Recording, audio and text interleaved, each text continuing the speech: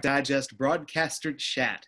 I'm Jesse Goldberg Strassler, joined by Mick Gillispie and Kevin Reichard. Mick, first, how are you? Hey, doing great. You know, got my morning run in here in Fairhope. No baseball, that's bad, but you know what? At least I'm uh, somewhere I've always wanted to hang out and uh, still working on my book to chapter 12 right now. So feeling pretty good about that. Chapter 12 out of how many? I don't know. I haven't gotten there yet. So as we, you know, the, the, the uh, outline has me going into the 20s. So we'll see how it turns out. But it, it's, it's been uh, fun writing. Well, Mick is proceeding forward. Kevin Reichard, let's check in with you as so many other aspects of the game try to also move forward, what are you hearing? Uh, I'm hearing what everyone else is hearing that the two sides in the Major League Baseball MLB PA dispute are, are still apart, although interestingly enough, the latest proposal from Major League Baseball did not did not meet with a rancorous response from the Players Association. What what Major League Baseball proposed was uh, a 74 game season with 16 playoff teams, which you know you might as well have every might as well go NHL and have everyone involved, huh? And uh, had a had a typical short season beginning. Uh, the end date was important. They still want to stick to September 27th with October playoffs, and right. I, think, I think that's very important uh, and something the players don't want to see. But I think it's very important because let's say things get normal this fall or, or relatively normal in terms of broadcasting. There's going to be a boatload of competition for baseball on the broadcasting front. You're going to be in full blown NFL and college football seasons. You will be in in uh, horse racing season, which you know commandeers. You know the the Triple Crown gets quite the high ratings you're going to be uh, potentially in uh, in uh, other seasons as well. And so I, I, think there's a real danger in baseball playing playoffs into Thanksgiving and, and maybe even early December. I mean, the, the, the MLB warns you're going to lose some games in, in late September uh, anyway, but going in October is just suicide. And we will see while the players formally respond I mean, everything was lukewarm. Sean Doolittle went on Twitter, obviously, to say we want to play. Um, my gut still says we're going to end up with a season that ends September 27th or so in October playoffs. The thing of it has been that the summer, you don't have that competition. And yet, as these negotiations have gone on, and I've seen some accusations levied that from one side that the negotiations have not been serious. And I've seen that, hey, the owners are running out the clock a little bit. Uh, there is there is that chance right now or as soon as possible we're not going to have baseball by the 4th of july. I think that's a big danger. I think that if you want to give players three weeks to get into shape you got to get your stuff in gear yesterday basically. I mean i think the june 1st deadline everyone was sort of looking toward was was a very valid one. So i think it's a really good chance we will not see baseball on the 4th of july. Um, i think there's also the the fallback that MLB has is is the 50 game season that both sides agreed to way back in March, and I'm not quite so sure the players are are not regretting that a little bit now, because that's a fully signed agreement, you know, duly duly signed between both sides to give the commissioner power to impose a shorter season at full salaries. Let me ask you about ballpark debt, which you wrote about for Ballpark Digest. There's a lot of thought about what are all the other dominoes that are going to fall down the line that we don't even realize right now? And you've got your eyes to the future. Yeah, there's going to be a lot of issues with uh, how ballparks have been financed the last decade. Um, you know, in the article on the site, it outlines the fact that uh, the debt on Citi Field has been downgraded to junk junk status. Uh, even though S&P did say there's a, it's highly unlikely it won't be repaid. But junk status is not not good when you're trying to sell the team, and uh, Yankee Stadium is isn't there yet. Um, but in a lot of cities, you're seeing, for instance, let's look at Minneapolis and how Target Field was uh, financed. The bonding there was backed not by the team, but by a, a countywide sales tax. And so the, the problems that are affecting Major League Baseball may not be directly translatable to the target field debt. The trouble is, in a recession, no one's spending money. So all of a sudden, that sales tax spigot is sort of turned down, and uh, you know, I, I, don't think there's much concern about it in in uh, the the Minneapolis Ballpark Authority so far because they've actually been ahead of schedule in paying off the bonds. But they're not the only only city to to have issues with with bonding. Uh, in a lot of minor league cities, it's going to be interesting to see how this pans out. Uh, most of these ballparks were financed with with with some level of bonding backed by specific streams of income. Those streams of income dry up, and all of a sudden you've got issues. And then there's the whole problem, which I writing about next week, is privately financed ballparks, no income. How do they repay their debt? And there's there's teams out there with quite a bit of debt on the ballpark side.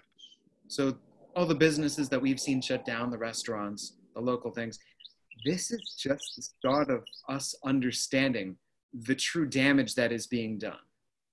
There's going to be a lot of ripple effect from this. It's going to affect existing ballpark debt. It's going to uh, uh, impact any future ballpark construction and how the how that uh, construction is funded. And you know, I after after I wrote that piece uh, for yesterday's newsletter, I did hear from like like ten or so owners you know, saying, "Yeah, we know it's coming up. We're we're a little scared about it, so we'll see what happens."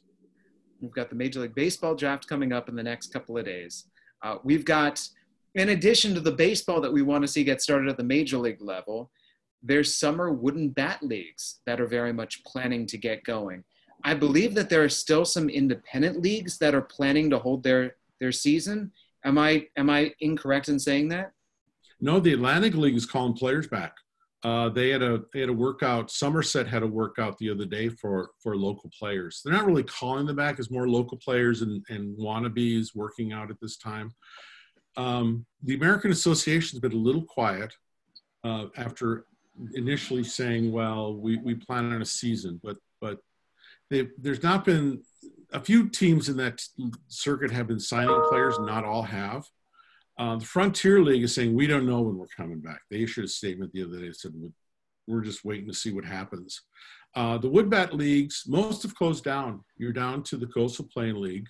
You're down to the Northwoods League, which has a pot of teams launching next week in Bismarck. So three teams playing out of Bismarck Municipal Stadium. Um, tomorrow, I believe there is a call among Northwood League owners and the league office to sort of map out the next strategy. But the you know when you got a huge footprint and you've got to please officials in you know so many states. In Wisconsin here, in Fond du Lac they can play, in Green Bay they can play, in Dane County they can't play. So you can't even go by statewide. You have to look at the, the counties within the states to determine who's ready to play and who's ready to move. This is something that I'm interested in following because with the draft, only five rounds, and then the maximum of $20,000 paid to free agents. It would seem to me that there are a lot of seniors out there who won't get drafted and maybe won't get that call to sign. So they'd want to find anywhere where they could play where a team could notice them. And then you would have wooden bats or independent league or whatever it might be. There would be players just wanting to play wherever they could find a field, wherever they could find any kind of competition, just trying to attract scouts' eyes. I think you're going to see more than more than a few players end up signing uh, overseas. If I were them, and I know a few agents are pushing this, I'd go play in Japan in a Japan minor league. I'd go to Korea. I'd go to Taiwan. I'd make my mark. I'd play there for three years. I, would build a record, and then I'd return triumphant to the United States and let the major league teams bid on me and pay the fees. Uh, the other thing that we see going on a lot right now is how stadiums are being used. What different ballparks are saying if we can't have baseball, but our state is reopening. I'm doing this from Michigan. Michigan is reopening right now. I just made a haircut appointment. It's coming up in a couple of weeks. I'm pretty psyched about this. But if there's no minor league baseball for the minor league baseball teams in the state, there are ballparks that can be used. And this is the same case for a number of other states. So, Kevin, you're watching to see how all these different facilities are being utilized. Yeah, the big thing now is eating eating uh, at a table in the infield at home plate. You know, a number of teams have done that. Um, Pawtucket did and got a, a huge response. I think eating at the ballpark has its charms for the first two or three times you do it, and then you realize there's really nothing special about sitting on a table next to uh, next to the pitcher's mound. So I think I think the question is these promotions are great. They keep everyone interested in baseball. They show off the ballpark experience, but I think that what what a lot of people are questioning is how sustainable they are. And uh, for some owners, in fact, some owners are kind of rejecting them because they don't want to compete with local restaurants. Because in the long run, the local restaurants are their advertising and, and catering partners. So at a time when every restaurant is struggling, if you're an owner, that's the question you got to ask. Do you want to be competing with another uh, another local restaurant? And some are just saying no. So it's sort of a mixed deal. I mean, Pawtucket's in the middle of this industrial area, so you know you're not there's not too many places to stroll around the ballpark to hit as far as local restaurants go. But other cities that are downtown, especially, are sort of you know a little worried about it. The other thing teams are doing, which I which I think is sustainable because you can't do them every night, is fireworks. Now, Jesse, is your is your ballpark doing fireworks? We're planning on having some fire. We haven't announced anything, but there are plans in the works. You know, Omaha did that like the first week of the season and, and did their regularly scheduled fireworks, and they had thousands of people come into the ballpark, staying in their cars and watching the fireworks. And uh, it, it's a it's a thing where you can still reward your sponsors. Um, you can uh, keep your your name high in the in the business community and the local fan community, and it's sustainable because you're not doing going to do fireworks every night. Do you know what we actually have to wait for? I believe just as things shake out is so Lansing, like so many other cities, is having Black Lives Matter rallies and protests, and so as a stadium located right downtown, it's it's really about giving space as the mayor is meeting with the protesters as the city is getting everything together um, this is not the time for people to be hearing strange explosions going off at night no that's that's certainly an issue. for, for some of these downtown ballparks um, what what i find interesting is how these the the protests really have not not touched the baseball world so much, or even the the the the arena, the venue world in general in terms of sports. Um, there was a rally at Wrigley Field um, the other day. I don't. There was no damage. It was very peaceful. Uh, the Giants had boarded up Oracle Park in worries that there would be protests reaching into that area, but no, nothing happened. Um, there's there's been no widespread talk about about you know anyone storming a ballpark, which you know given and, and here in Madison, uh, the ballpark is way on the edge of town, so no one's going to head out head out there to storm anything. But uh, I I I think that the baseball world has been kind of lucky in that it's been spared some some heavy duty uh, damage. you've been quiet, which I'm not used to. Let's go all the way back. Would you want to eat dinner at home plate? Well, I mean, I've eaten dinner at home plate before. Um, I mean, like you know, it's you're around the game long enough. Like you've you've been there. Maybe a you know, like a sponsor has some kind of a uh, event, and you you know, and they and they'll get the ballpark as part of their uh, you know their event, and and they'll have like you know dinner on the diamond or something like that. But you know, the Smokies started their own um, high school uh, summer league. You know, mm-hmm. because the high school league got canceled. So they they've got games that just started this week. You know, and I mean, I don't know if they're going to get more than you know five or six hundred people a game, but at least it's something in the stadium, and, and some baseball fans can come watch high school, uh, which really isn't a great level to watch there. You know, I mean, but but it's it's still something, you know, and and I, I credit those guys for just looking outside of the box to try to find something because we're not going to have minor league baseball this year just not it's just not going to happen you know there's no priority from from mlb they they're having a tough time figuring out how much the players should get paid and I, I mean, I'm not even as uh, optimistic as you anymore, Kevin. I, I don't even know if we're going to have baseball. I, I hope you're right because I'd love to have it, but I just every day that goes by and you're saying, well, now we don't, you know, we can't get it in before the 4th of July.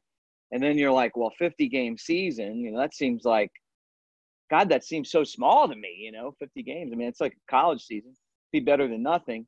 But every day that goes by, it's like there's a less likelihood that the union and the players are going to get on the same page. And it, it just feels like there's this animosity between those two that, that has hasn't been this heightened since the strike of 94 you know so i hope i'm wrong but that's just the sense that i get from talking to people and you know just my own gut um I, I'm not too far from Pensacola where I'm at right now. I saw that you could go on Airbnb and, and, and go hang out at their ballpark. You know, that's that's a, a way to make some money.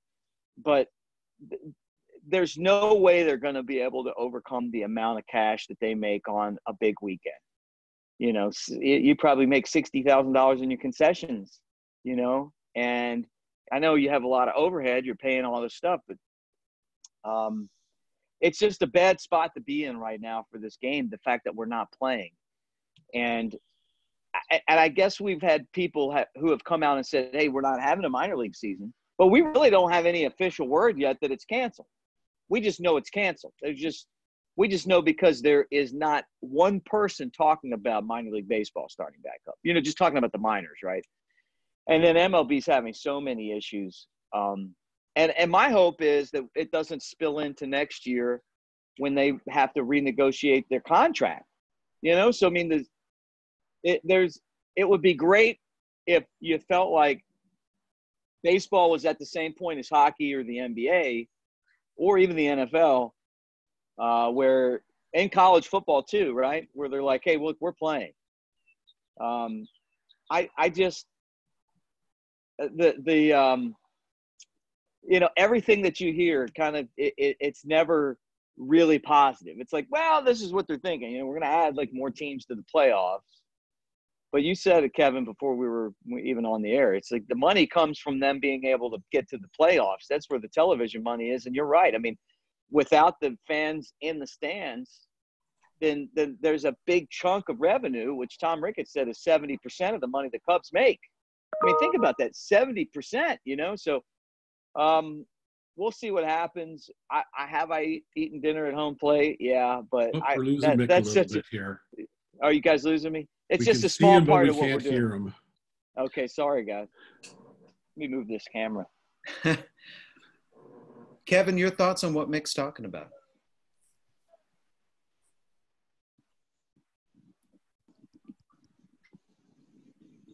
So we have a little technical issue, it looks like. Um, can you hear me, Jesse? I can hear everyone. I can hear everyone perfectly. Mick was cutting me out. Too. Good. All right. Good. Uh, what Mick was saying was absolutely right about the, the finances of the playoffs. The playoffs drive drive the revenue and there's no way you can make up for that uh, in, in, any way. And expanding the teams is great, um, and but pushing the playoffs back into Thanksgiving is and early December is such a, a terrible, terrible move. Um, so I wish the players would sort of back off that. Um, and and going back to what you said, Mick, about about optimism versus not being optimistic, it changes every day for me. Mm-hmm. You know, I'm more optimistic now than I was two days ago. Tomorrow, good. Maybe I'll be, you know, oh, there won't be a season and this will just suck. So, Mick, deeper question for you. In 1994, the baseball strike, a lot of casual baseball fans, baseball fans of a certain level, got chased away. And however many among those came back with Mark McGwire, Sammy Sosa, Cal Ripken Jr how is this changing your relationship if you love the game this much but here's what's going on with the sport? How do you reconcile it? Yeah i mean like i feel like when i'm on your show you know it's like i'm kind of trying to blow the whistle here. You know i'm like a canary and i'm i'm constantly saying look you know where baseball is right now is to me outside of the fact that baseball went years without allowing everyone to play based on the color of their skin, which was just, I mean, awful, right?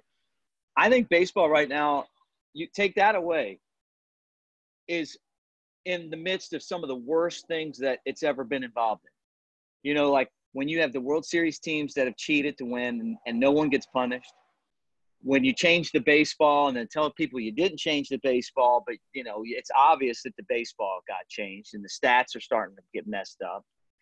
Uh, you know, when you eliminate minor league teams and you're kind of sly about doing that, and then now this, you know, where, the, where it's like the players and the ownership, uh, really the players in the commissioner's office can't get on the same page to play when all of us are out of work and we're just going, hey, you know what? It would be great to have the the pastime back and you guys you know and you and you go on twitter and you look at you know some of your favorite players on their yachts and swimming in their big in-ground pools and living life just like you know no big deal. And and and a lot of people were going hungry you know and and without jobs and stuff and getting furloughed and and and, and you're bickering over millions of dollars right? I mean it's like yeah i get it. Like i understand it's a business right and I understand that, that you, both sides feel like they're right. I mean, if I'm the owners, do, am I going to want to take a loss because the players don't want to take a pay cut? No. If I'm the players, do I want to get into another contract where I just got I just got my butt whooped in the last contract negotiation? Now they want me to take, you know, uh, not pay me the money that's in my contract? No. I mean, look, you got to work that out. But to go back to your point, where we're sitting is we're not trying to put the blame on one side or the other. We're saying, hey, if you guys can't figure this out, you're going to put the game in a spot where there's a lot of other options.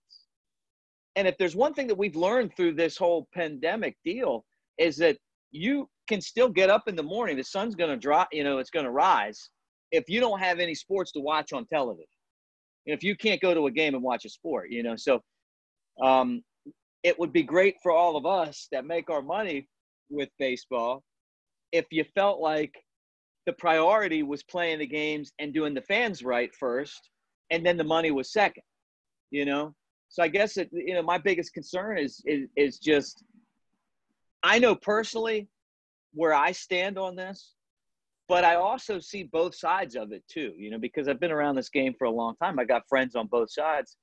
Um, in a negotiation you know you have to give and you have to take and it just doesn't feel to me like baseball it has gotten to that point yet. And the longer that this thing goes on, every single day that passes, the likelihood of us having a season gets smaller and smaller. You know, if that's 50 games or not, you know, and we're, we're going to have it by the 4th of July. Eh, Kevin, you're right. We can't play the game in November. I mean, we don't even know if there's going to be a second wave of this or not. I mean, that's there's a rumor about that they're, they're you know the owners are banking on the money they get from playoff TV revenue, right, to be able to pay these guys.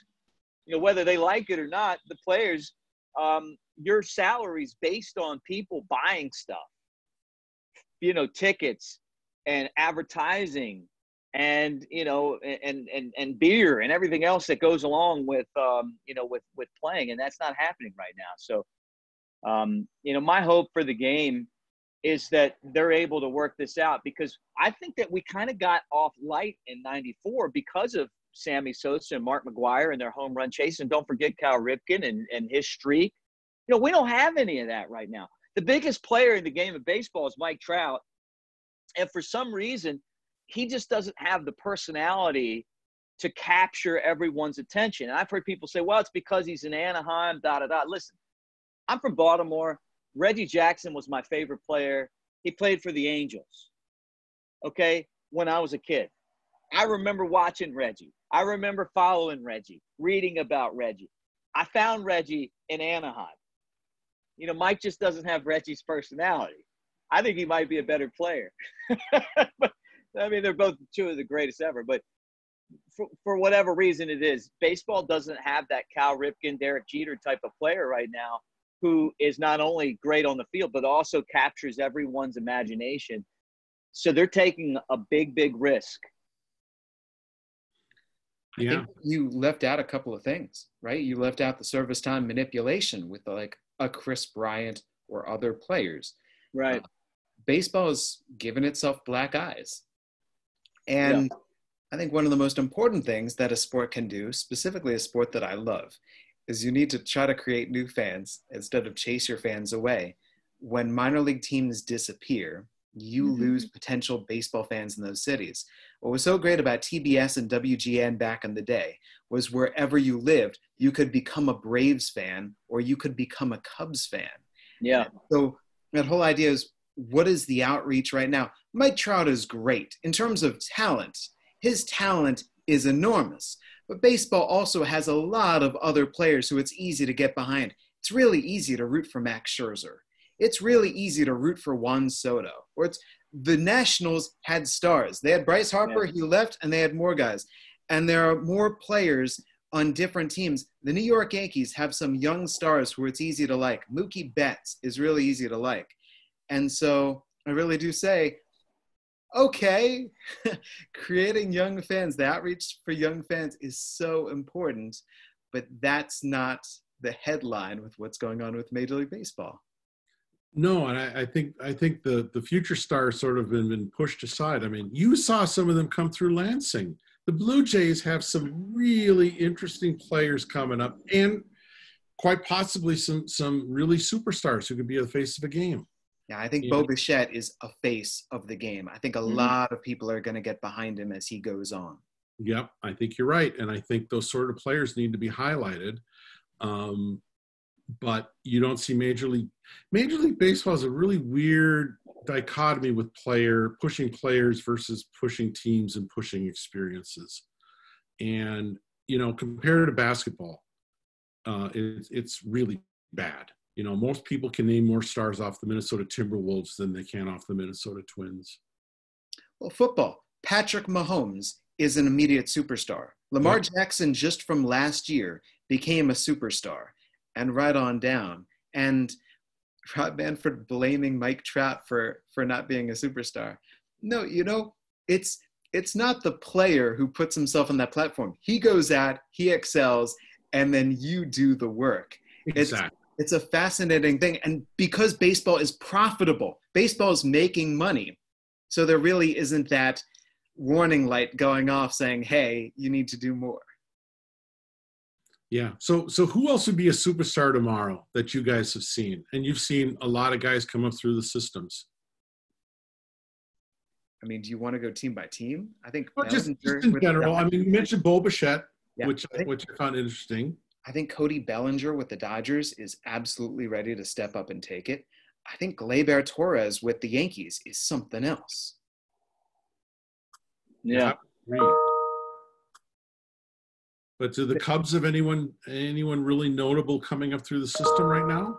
No. Well, Nico Hoerner, but I, I think he's a great player, but I, I don't know that he's kind of a transcendent superstar. I mean, look, they have him already. Kris Bryant and Javi Baez are the two best players I, I can remember seeing on a day to day basis in my time in the minor leagues. Javi's as electric as any player I've ever watched. I mean, I, I can remember telling people, "Hey, look, I grew up. I was a big Reggie Jackson fan. Javi's got a lot of that Reggie in him. You know, like you got to watch the strikeouts just as much as you got to watch the home runs." And then, and then KB's like a young, you know, Cal Ripken, although he's not as young anymore, right? Um, and and you know they've already won a World Series, um, and and they are big time stars. Um, but but as far as like the, the next wave of guys, I mean, I just don't see that, you know, right now with them. And honestly, I don't remember seeing a lot of guys in the entire Southern League that I thought, okay, you know, when I saw uh, Paul Goldschmidt, I remember uh, Wayne Randazzo, who, by the way, I got to throw a shout out to Wayne. Wayne and I are going to be on this um, M this bot baseball. We're going to do play by play for the Cubs Mets on the 18th. So this is a you know we haven't announced that yet. So they asked us to do it for charity. It's like have you heard of that the bot ball thing? It's like the it's like um baseball that these guys these these MIT kids they they built like a a uh, a, a regular season and it's all like uh, computer generated, but it looks real. So we're gonna do we're gonna we're gonna bring play by play for one of those games. Jesse, you should definitely do that. That's Um, sweet. Yeah, I mean, like it's it's a you know, so we're gonna do that. But but I mean, like when you look around the the game right now, um, and and and I and I'm just talking about the Southern League. I saw Paul Goldschmidt. I'm like, hey, this guy's a star. You know, and some of the other guys that have come through. I don't I don't remember anyone in the last few years that I've, I've I've had to like, okay, yeah, this guy. I mean, like th- this is the next guy. At least that being in the Southern League, you know. And and I worry about the game because of the slotted draft, which is another thing I put in there with all the other things I don't like. Um, be, because I we, we're not able to go buy those great players from other sports anymore. You know, the Arizona uh, Cardinals quarterback was drafted in the first round by the A's. You know, back in the day, you would just pay him so much money. It's like you you would just steal him away from football. Uh, but you know, Kyler Murray now is the quarterback of the Cardinals. You know, the money was probably better in football, which is crazy. So only that I he wonder- could immediately go in and be a starter in the league. Whereas baseball, he wasn't going to start for the A's next year.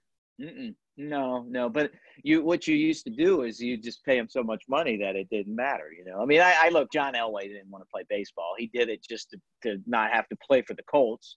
We know that, and that was like what led the Colts to leave town in Baltimore. But uh, so I guess we'll see what happens. I, I'm, I'm, I don't know. As far as the Southern League, there's no one that really sticks out to me in the last couple years that I'm saying, hey, this guy is going to come in and change baseball, the face of baseball. I think that the Astros getting caught in the cheating scandal hurts because they've got guys. Altuve and Bregman and George Springer are all guys to market your game around. Ronald Acuna with the Braves is a guy to Yeah. market around. I do not think that baseball is lacking. Let- Let's let's hope the folks at Major League Baseball agree with that. Yeah. You know, they they they have not managed to promote players very well overall. With the bot that you're talking about, Mick, we're doing out of the park baseball. There are all sorts of other simulations that there are the substitutes, but then there's baseball. There's Yeah. baseball, baseball. And there really just isn't a substitute for whether it's us being there at the field and hearing the snap of the ball into the glove. Uh, Mhm. I think baseball is a sport where you just have to feel it. And that feeling that I would get every single year, the very first spring training game that I would see, that baseball is back. And it's just, who knows? Uh, although maybe this makes me a hypocrite in terms of I'm following all the different business of the game and the negotiations and everything like that. And yet I could not be more excited for the draft. I just Really? to see where all the young prospects go. I'm ready to see which team gets which player and who I might be seeing in a minor league ballpark next year. What do you think about five rounds of draft? I think it's way too small. And from the people that I've talked to, they're really concerned that it's going to cause an immense logjam next year. That all the players who are going to be forced to go to school will then be put into the, the draft eligibles next year with all the guys who would now rise up, and it will just be a mess. Yeah, yeah, I think so too. I mean, and and what's going to happen with college baseball? I mean, think if you're a high school senior and you're going to play college baseball, there's going to be players there that would have left for the draft. Do those guys that were seniors this year get a chance to come back and play another year because their senior year got cut in half? Like, did, I don't did, think did, so. did the NCAA decide how they were going to do that with with spring sports? The I mean, I, I thought they might let them come back, right? They are. Well, the, the NCAA does not have a rule against it. It's up to the individual schools. Some individual schools have said, "Nah, you're not coming back. We're, we we can't save your your quarter scholarship money for you, and we're just going to treat it as your eligibility is done now. Period." And I think that's across the board. Uh, if the school's doing it for baseball, they're doing it for for other spring sports as well. Right. And- Yeah, and think about that. Right. Think about that. Yeah, let's say you're going to LSU. You're a big time high school prospect and you don't get drafted in the first five rounds. So you say, I'm not taking $20,000, I'm going. But the guy that you were going to replace at LSU wasn't drafted in the first five rounds. He was a junior. So he's coming right back for his senior year, and there's no spot for you now. Yeah. You know Think about how good winner is? baseball is going to be. You know who the big winner of this is going to be? It's going to be the junior colleges. Yes. You go play for a year JUCO and see what happens. Yeah. You know, just like the young high school basketball players who are going overseas, those high school players or whomever it might be can say, let me go to Japan, just like you were saying, Kevin. Let me see Yeah. if I can go, impress some people. because the money that you would get getting signed out of Japan is so much more than the money you would get getting signed out of America. And generally, you're going to get more than 20 grand to go play in Japan. Jesse, if baseball decides that they're not coming back, you and me and Kevin as our agent, we should go over to Japan and, and broadcast the games back to America and England. I am surprised no one's doing that in this day and age. You don't even need to go there. You can you can play an MLB and just call them out of the press box somewhere, out of a we studio. have to go. We have to go over there. we just to live the culture. I mean, like how, how awesome would that be? about that, about the Major League Baseball broadcasters who were told for road games, expect not to travel. Yeah. This has been done for years in the Olympics, where I've got a great friend who has called figure skating from the studio in Bristol. Or the World Cup, they've had people sitting in the studio and calling the World Cup games from the monitor. Mick, have you ever called a game off a monitor before?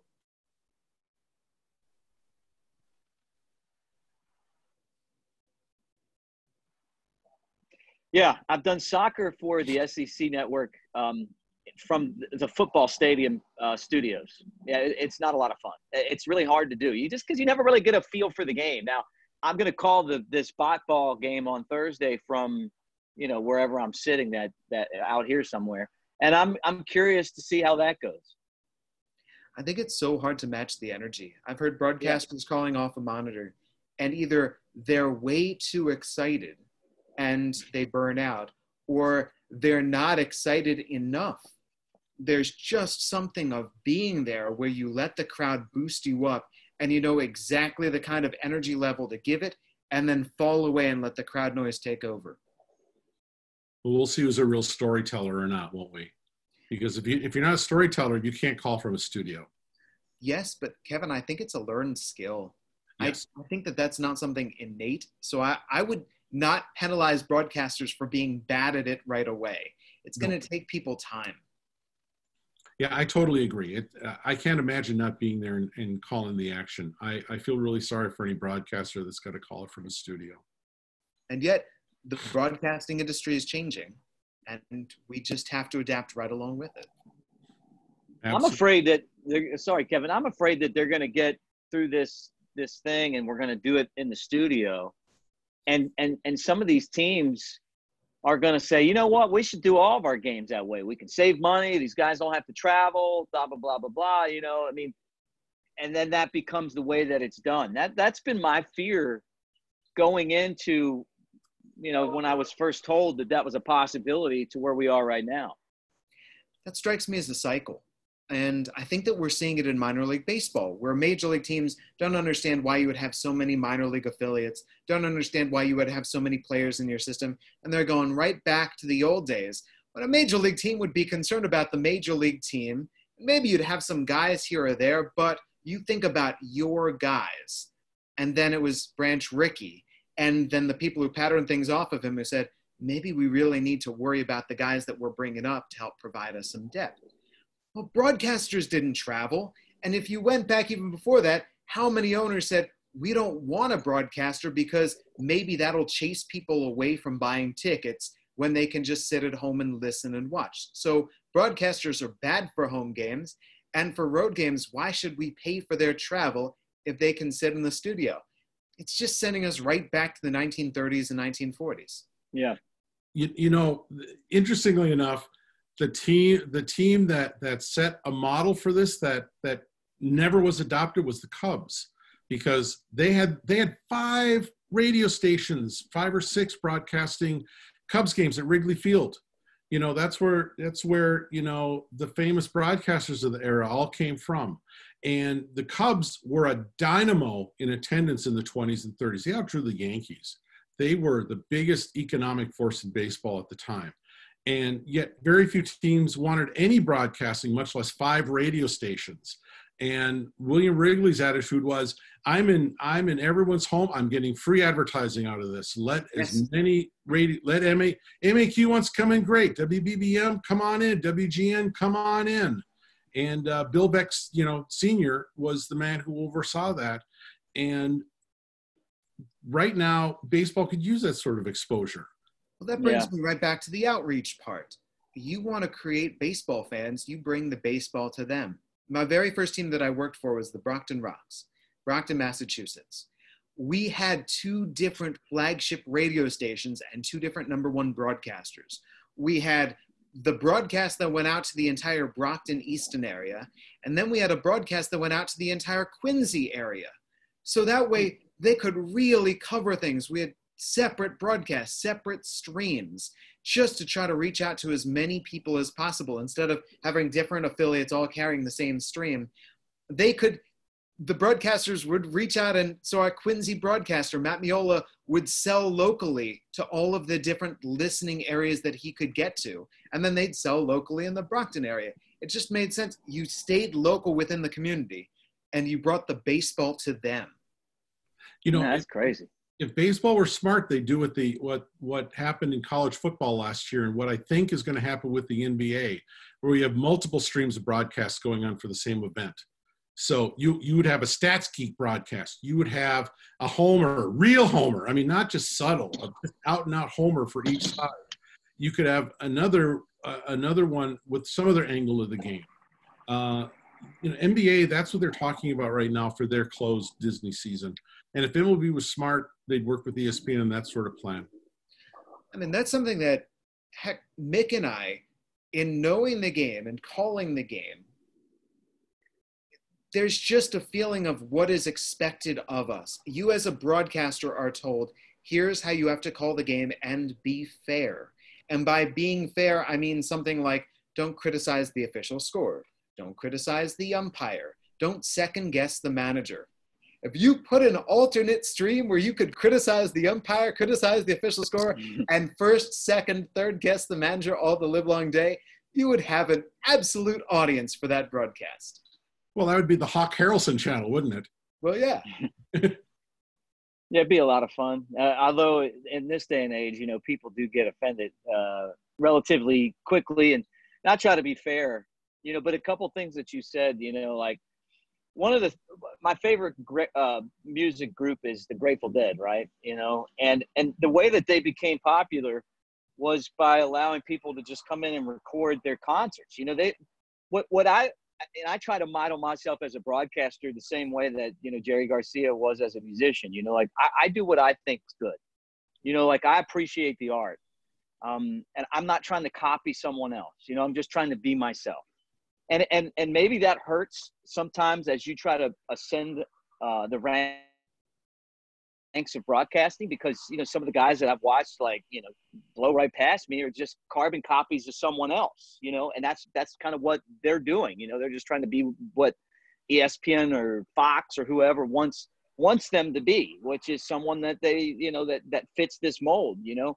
But I think that over the long term you know just like Jerry Garcia you look back and and and the, that individualism and the art that that he brings to the table, like a lot of the old time broadcasters in our business, will hold up. You can go back and listen to those guys from years ago, and they're still fantastic. You know, Vince Scully being the last one, right? But you know, Ernie Harwell and uh, Jack Buck and Chuck Thompson and blah blah blah. I mean, you just go through. You know, uh, Jerry Coleman, because they were all themselves, and and and they kind of took took the art part of it um, and, and, and ran with it. But I, I got to say one other thing, and and you just put this has got to go in my book. I would have never wrote this if you had not talked about the Cubs having all these broadcasts. My first year with the Smokies, we have this guy Kevin Hart, not the not the you know the actor comedian, but the pitcher, and his and, and his dad, uh, his grandfather grew up in Iowa,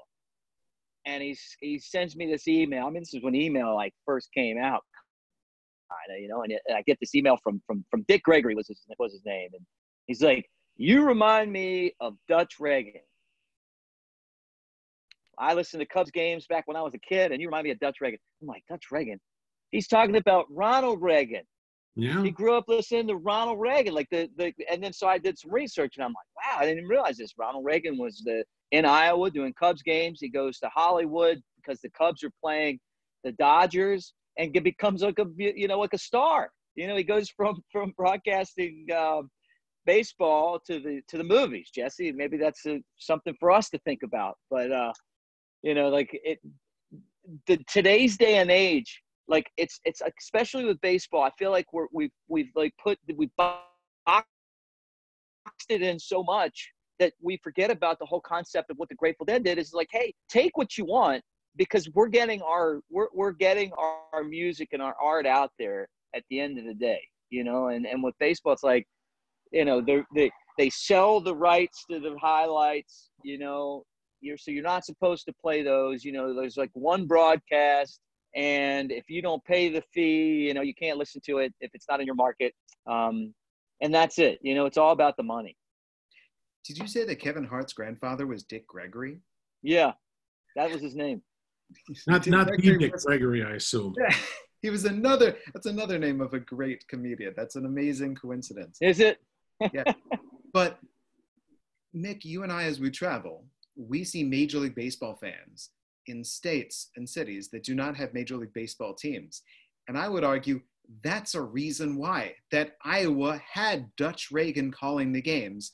So in Iowa, they were creating Chicago Cubs fans. Yeah, and they're still there. And and and you brought up something else too, like when the Cubs and the Braves were on. You know, I, I'm in New Jersey as a kid. You know, move out of Baltimore, moved to New Jersey. No Orioles and no way to listen to them back then and here's Harry Caray and Steve Stone on on WGN, and, and and I mean I've been a Cubs fan ever since. Yeah.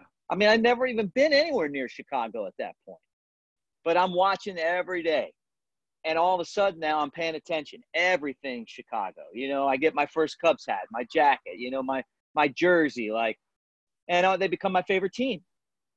And it was a team I never went to see play, but I saw them every single day on television, and I felt like I was part of of the of the Cubs fan base, and I, you know, and and it's it's it's the same thing with the Braves. It was the same way. Remember when the Braves stunk, and then all of a sudden they start climbing and they get better. There were Braves fans everywhere because of the superstations.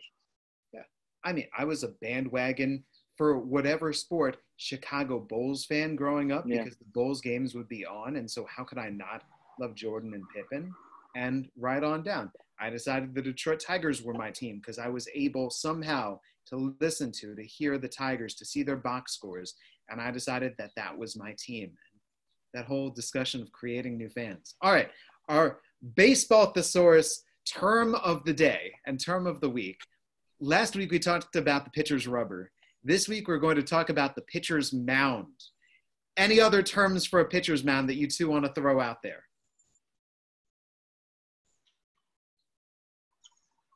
Give us the give, hill. Give us the hill. The bump. Yeah. Right. The pitcher's on the bump. The guy's on the yeah. bump today. It's the mound, the hill, the incline, the knoll, the mountain, the summit, any of those different things, the crest, the firing line. As I was working on the third edition, I got together with my groundskeeper here with the Lansing Lugnuts, really great groundskeeper. And I said, just break down this entire structure for me. And so the pitcher's mound is separated into several different things, all right? So the tabletop is the flat of the mound. You've got the dirt passage that some teams have, let's say in Detroit or in Arizona. That's the pitcher's path, that's the runway, or that's known as the keyhole. You have the bump is the specifically the peak of the mound, and then you've got the slope. So the slope, then you've got the bump, and around the back, that's the horseshoe. If you're a groundskeeper, those are that's hmm. what comprises the mound. Think about the eye, the iris, the pupil, etc. Horseshoe, bump, slope. Well, the pitcher's mound back in the day was a maximum of 15 inches, but there really wasn't a minimum. So hmm. depending upon which pitcher you were, you could request for your groundskeeper to make it higher or lower that day. So Bob Feller wanted it as high as possible so he could come right downhill. Other pitchers liked it to be nice and flat. Or the groundskeeper would screw with whatever pitcher was coming in from the other team and he'd put it higher or lower just to make sure that guy was uncomfortable. All the way up until they finally standardized it in 1950. And then we were talking about this. They changed the mound and this led to the year of the pitcher, 1968, and Bob Gibson buzzsawing right through Walter Johnson's 114 ERA posting a 112 ERA, and then they had to change the mound because of that. So the mm-hmm. pitcher's mound and all the different ways that it changes the game. you, if you go way back, way back, and I wrote about this in the Baseball Thesaurus, at the turn of the 20th century, Cleveland had a batter's box that stood almost a foot taller than the pitcher's box. Can you even imagine? You, you know, you go to some of those old ballparks and hear about them, and you, you hear about the bows in the field and the different by accident. This this probably was done on purpose to give the batters a, a big edge there. Oh yeah. If you were able to favor your pitcher or favor your hitter, right, of all the different things that a groundskeeper could do, you could make a ridge up the foul line. That way your bunters could bunt it staying fair. Or if the other team Mm-hmm. had good bunters, it would ridge foul. You would grow the grass higher or lower. Those different ways that a groundskeeper can manipulate a game just a little bit. Yeah, water the infield too. You know, like if you want to slow the ball down, you got fast runners. You, you know, you you water the infield, or you got good ball runners. Or how about going back to you know the the the, the, the John McGraw Orioles? You know, you never watered that infield because you want you know hit the ball down on the ground and pop it in the air, and then the little speed guys would get the first. Baltimore chop. Baltimore chop. There you go. I heard too that they grew the grass high in the outfield, high enough so that the outfielders could hide a spare baseball. Let's say somebody hit a ball over the outfielder's head, he could just reach down and chuck the baseball back into the infield. How about that? I've never heard that before. That's hilarious. Yeah. So All these there you go. Today, Great book. the pitcher's mound.